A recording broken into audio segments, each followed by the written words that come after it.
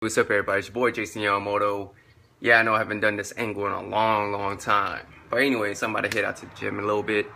So anyways, um, a lot of people say that they don't train smaller muscle groups, right? They say, you know, the bicep, the tricep, the forearms, the calves, right? They want, they only want to do heavy compound movements, the clean, the snatch, you know, the power clean, you know, overhead squats. You know, even powerlifters uh, would do bench press, you know, uh, the squat, the deadlift. And it's all great and fun, right? It's a, it's, that's all it really is. But for the people that says, you know, I don't want to train uh, smaller muscle groups because it's superficial.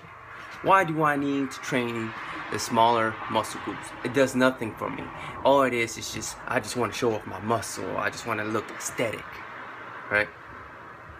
So here's the thing, guys. Here's the thing. When you're training, you want to train to be the strongest in everything you do, right? Everything counts. Everything adds up.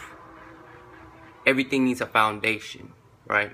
Just because you only want to train in a specific uh, exercise doesn't mean you can't be stronger everywhere else. Don't close your mind just because you have a philosophy that, oh, training my arms is superficial. I don't want to just have big arms and people think I'm, um, I just lift, you know. I, I want to just surprise people when I just do it. You know, uh, it's a personal philosophy, yes. You can do whatever you want to do. I'm not telling you. But it would behoove you to understand that in order to grow stronger, you must grow strong in every area, not just in one area, right? If you want to be the smartest in math, you don't you don't just study algebra and algebra 2. No, you go beyond that, trigonometry, calculus, right? That's the same idea. Why just train in that exercise? Why just train in that movement? Train in everything and grow from everything versus just picking one thing and just sticking with it. Yes, can you become really strong with just a straight narrow path? Yes, you can. But to say that this is the only way to get stronger is not the right mentality. It's a small-minded mentality.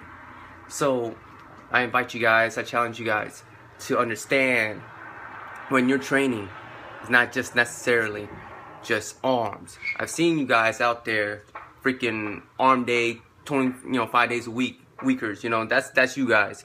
You guys need to switch it up, man. You guys need to switch it up to heavy compound movements as well and try different exercises that's going to challenge your body other than just your arms. Okay, that's, it's just weak, man. I see these um, tough martyr guys in the gym doing push-ups and then curls. Come on, man. That's just not going to help you guys out in, in the long run. So much deformity. So much... Uh, your postural integrity is not gonna it's not gonna click. You understand that? But anyways, man, that's all I have to say for right now. About to put on a tank top, you know, uh, get some shoes on and start lifting. Today's back and bis. I want to know what you guys are training today. It's your boy Jason Yamamoto, and I'll talk to you guys later.